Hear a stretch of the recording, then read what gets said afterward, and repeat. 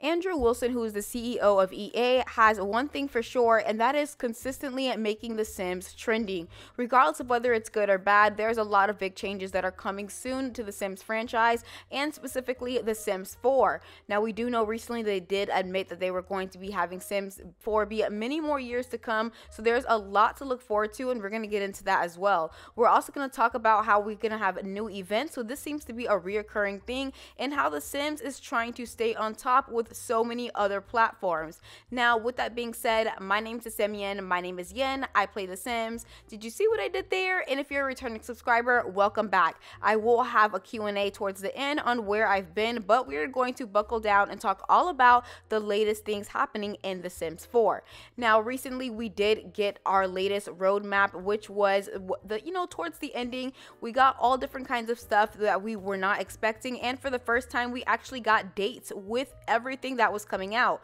We got the artist studio kit and the storybook nursery kit, which was actually a collab with CC creators. We also for the first time got Grim Reaper event rewards. So that's something that I think that they're going to follow through with the rest of, you know, DLCs that have been coming out because again, they did mention this whole rewards program and now they're saying that they're doing one again for December starting on the 3rd.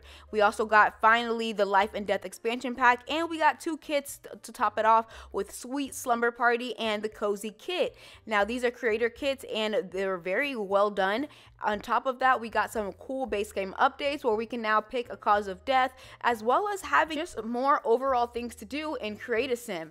Now, my guess is that there are still some things that are going to be done, of course, because they did mention to be continued, and we do have the Sims Direct keeping their promise with trying to make sure that there are consistent patches where they're updating things. Now, again, there are some rumors going around with Sim Guru Ninja returning back to Twitter after that whole fiasco where unfortunately Ravenwood, which was with the New Life and Death EP, did not have snow and it was a lot of backlash. A lot of simmers had things to say about that. They were wondering why it was not cross pack compatible. And overall, he ended up just getting pretty much slammed for it because again he was the one speaking out about it and he ended up deactivating his twitter and now that he did reactivate it he still has not said anything. This has been a consistent thing with a lot of sim gurus where they say something get slammed for it and then they just disappear. Definitely a common theme within sim gurus and there was a lot of simmers going back and forth on whether they felt that this decision was right or wrong. Again i do feel like the sim gurus as mentioned in previous videos yes, they chose to be sim gurus. I also do feel like he was stating something that it was just not just a him decision on this project. It was multiple people. But since then, a lot of simmers have moved over to the Blue Sky app. If you're not familiar with Blue Sky, it's basically a new Twitter. So I will have all my description and info down below because I'm just getting sick of Twitter and these promotions. Again, I'm still going to be on Twitter, but I'm going to be on both. And like Sim Guru Ninja, Sim Guru Popcorn, Magnetic, and the rest of the Sim Gurus have not stated anything anything. Again, there is the holidays coming up. And speaking of the holidays coming up, we do have a new event system, Cozy Celebration, starting December 3rd. So it's coming up very, very soon this Tuesday. And again, it seems that The Sims is going to be sticking around with these new events and hopefully, you know, constantly promoting themselves to have players you know, grab on and leech on to the Sims. They want to drag as many players in because the more Sim players they drag in, and even though it's free to play, the more people are going to spend money on packs. Now, there are uh, the Sims bundle cozy bundles that ended up coming out and they are on it with you know promoting things for the Sims right now. We have the My Sims bundle, we have the new Shop the Sims. There's new arrivals coming in and speaking of new arrivals, I think I might cave and get that beanie. I don't know, it's $27. I feel like I can get it cheaper on Etsy, but there's something about that beanie and that freezer mug. Again, there are so many different things coming to the Sims that they've already stated, like the creator program, the Sims lab. They're talking more about the movie that's supposedly coming out. Again, we got a lot of, you know, information when EA came out with Investor Day and they spent over 8 minutes talking specifically on the Sims and what their their journey is for that. There's going to be some project journeys where they are going to be expanding more on that. The Sims 4 has many more years to come, including decade. I will not be surprised if we don't get a, uh, you know a Sims 5 or a 6 until even 2028. But that's my personal opinion. Would love to know yours. And with this new AI system going on, there are the the, the thoughts are endless of what they could do. There's also the Sims Lab Story Town that got leaked and everybody was ended up able to play it. And again, it just looked like one big cash grab. This might actually be not actually. I think it will be a flop. Again, a lot of people were like, this just looks like something on mobile, even though it's you know it could be a little bit more compatible. But I just I don't know. A lot of people mix this up with Project Rene, and this is definitely not Project Rene. If you look, if you take a look at this, guys, this looks completely different. And we got the first look of Project Rene about over a year and a half ago with Behind the Sims Summit. And again, this looks completely different from what we saw. So again, at this point, we don't know really what we're going to be getting as of right now. They haven't really exactly said what Project Rene is. It's just more like this is some of the stuff that we're working on. How do you guys feel about it? So again, everything is in the air right now of what we could be getting possibly very soon. So speaking of, you know, very soon, what are some packs that are going to be coming out for next year? Again, the roadmap did say to be continued, so I do think they're still going to be continuing onto that roadmap. Now, The Sims did post this the other day, and it did look like a concert. Now, I could be reaching here, but would it be cool if we got bands or some sort sort of concert? Now, this is thanks to the Sims Community.info, and I'll list it down below in the description box if you guys guys want to check this out. But there was you know, uh, basically a survey going on that a lot of people got, you know, a chance to, you know, participate in.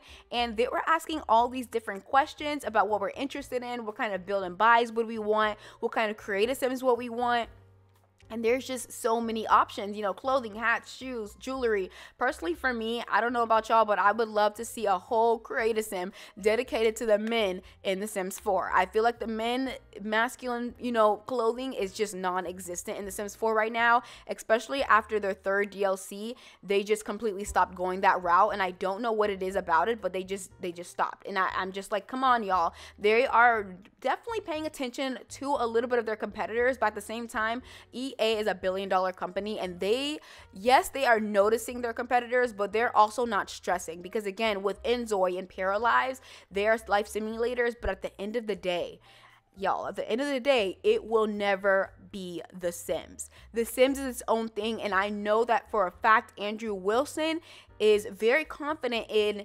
himself when it comes down to the Sims, and he's very confident in Maxis being able to present what they're going to present. Now, there is a lot of talk right now stating that maybe we should be getting a color wheel sometime soon because a lot of people were wondering what's going to be basically happening for the next year. Of course, with all the recent things that they've said during Investor Day, there are so many endless possibilities, and basically, how big is the game really going to get? Again, this was just a mock up of, you know, from an intern that that was working over in The Sims, and it did look like they were kind of, you know, looking at a color wheel possibility. And again, I would love to see something like that because there are the, the, the color limitations in The Sims is crazy. I feel like with color wheels in Build and Buy, that makes sense. It's like a little bit too much. But color wheels, specifically in Create a Sim, I feel would be such a good idea and definitely will draw in more customers. But you guys let me know down below in the comments what is something that you guys would want to see as far as feature wise.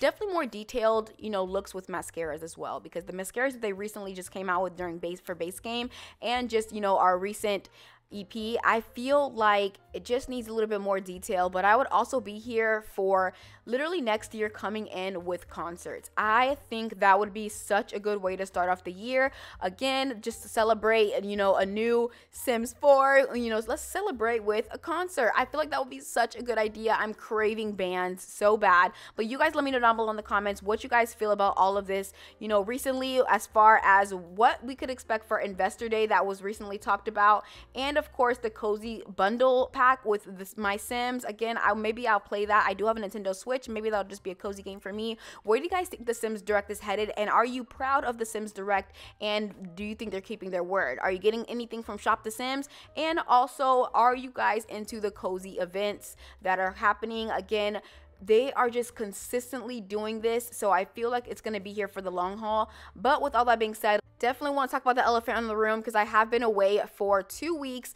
And even on other socials, I just haven't been as consistent. Again, I had a baby a couple months ago. And so I'm still trying to get into the swing of those things as well as, you know, having, a, you know, my, a life of my own as well with YouTube. So again, I am trying to, um, you know, make this all work, basically. So I want to say thank you to those who have been patient enough to wait for me to come back on YouTube. But guys, I have a couple videos coming out, and I know I say that all the time, but I really do have videos stocked up for you guys that are already edited and ready to post for y'all because I, you know, am having fun with The Sims outside of recording, but I did want to get back on YouTube and start recording with, you know, for you guys. And I love talking all things Sims with y'all, and I love the community that we've built here um, for you know the past two years. So with all that being said, thank you so much for watching. Again, we are on the road to 40k, which is in freaking sane.